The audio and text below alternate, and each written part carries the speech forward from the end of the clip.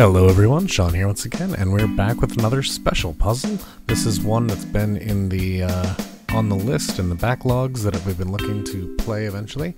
Uh, this is Crosswordle, and so uh, basically a reverse Wordle. You're trying to reverse engineer a Wordle puzzle. Um, this looks uh, like a lot of fun. Definitely interested in getting into this one. Um, as always, if you want to do this puzzle yourself or see the answer here, feel free to pause the video and go to crosswordle.vercel.app. Uh, that link is in the video description below. If you like this content, please take a moment to like and subscribe. It really does help me out a lot. But for now, let's get into today's puzzle. So, we have Vaunt. I think we can very easily come down here and fill in these ones. These have to be the same as those. Now, this is a puzzle played on hard mode, so if you have a yellow, you must use the yellow in subsequent guesses and can't use it in the same spot. I believe you cannot use it in the same spot. Um, let's double check the rules here. It walks you through how to do those. So, uh, once you use a letter that exists, you have to continue using it. Similarly, once you use a letter that doesn't exist, you cannot use it anymore. Some tiles so far have included a little triangle in their top right corner. This is how we indicate errors in the current solution. So the solution is the entire grid. It's not just the bottom row. Um, so I want to test here just to see if we use an A here. Can we also use an A here? We cannot. Okay, show error details. Error on row for this letter has already been attempted in this position. So if we have a yellow here, that doesn't go there. We also we cannot also use it below. So uh, getting back to this, we know that we have to use um, that we have to have these three. So we can't have any letters here that aren't used down below, and if these were in the puzzle, then they must be the U and the N. So I want to try and do this here, and a word that I'm seeing right away is unlit. Now, I would also, so these, this would really help us here if one of these was a T. Um, I'm already seeing a, what I'm thinking is going to be really helpful as we move forward is doing as many um, doubles as possible as we're doing these. So if I can include two T's here, for example, oh, we can't have a T there, but let's say we can test this. What is wrong with testing two T's? Too many occurrences of this letter in this row. I'm not understanding why that should cause a problem. Oh, because we can't, there's no not two T's in the final puzzle, so there wouldn't have been that there. Okay, makes sense. Uh, now, if somehow we can use extra T's, or let's do the word tutus.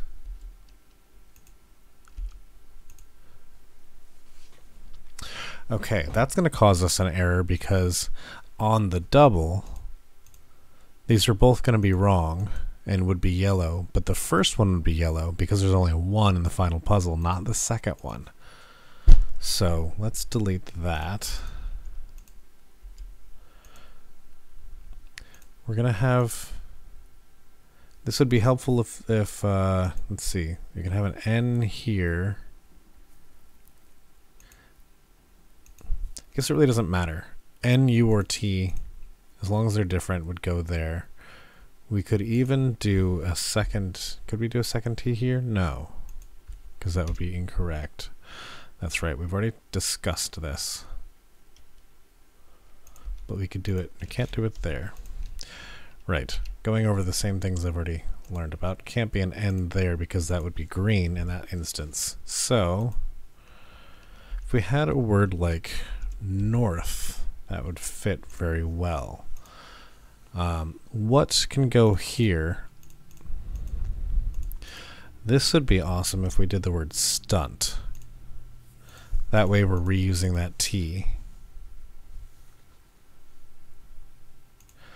Alright, now we just have to make two words up here that don't use any of the rest of the letters.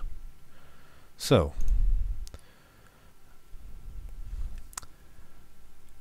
we still have use of we have I O U A. We haven't used the E yet. So the word peppy is going to be very useful here. Although I feel like that might back us into a corner because we do need at least one vowel in the next puzzle.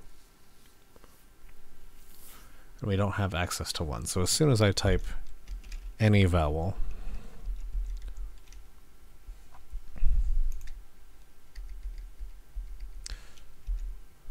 yeah. So I want to use I want to use the word can I use the word crypt? No. I won't be able to. Because of that P and the T.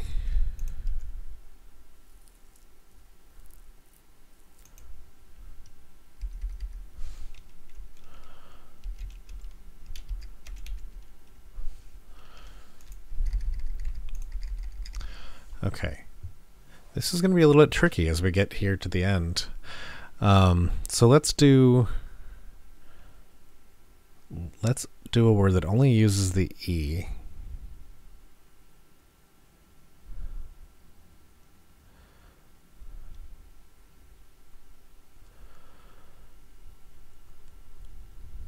I want to do something that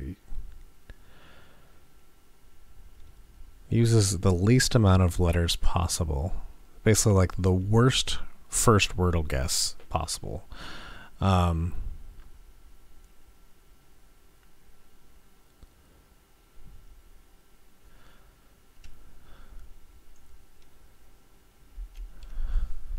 how about the word wedded?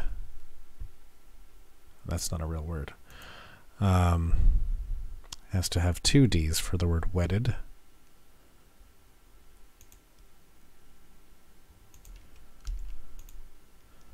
Uh, dude. There we go. Then, if we can just come up with a word here. How about this? Let's go down here and use the word uncut. That way we are using the U twice. It stays valid because the first the first one is the one that gets the yellow. That way we still have access to the I and we can use the word Billy. Congrats, you solved it. Very fun. It's kind of tricky. Yeah, there's a few times going over just making sure it's sort of re weird reverse engineering where the yellows go out of your previous guesses. But yeah, it's it's very helpful to um, have early guesses that just are awful guesses. Something like Fuffy would be really good at the beginning there. Um, not using any of our original uh, letters, except the fact that we're going to have an, a U in the final puzzle. So, um, very interesting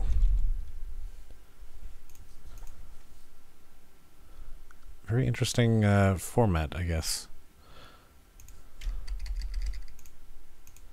And a, a, very once you know the the words of the rules of Wordle very well, it's it's a really good challenge to uh, to get you to think in a, in a reverse engineering way.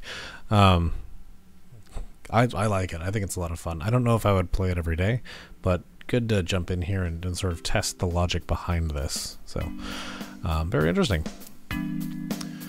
Thank you for watching, I hope you enjoyed it. Remember to like and subscribe, it really does help me out a lot, and share this video with anyone who you think would enjoy some daily word puzzles. That's all for now, and we will see you all tomorrow.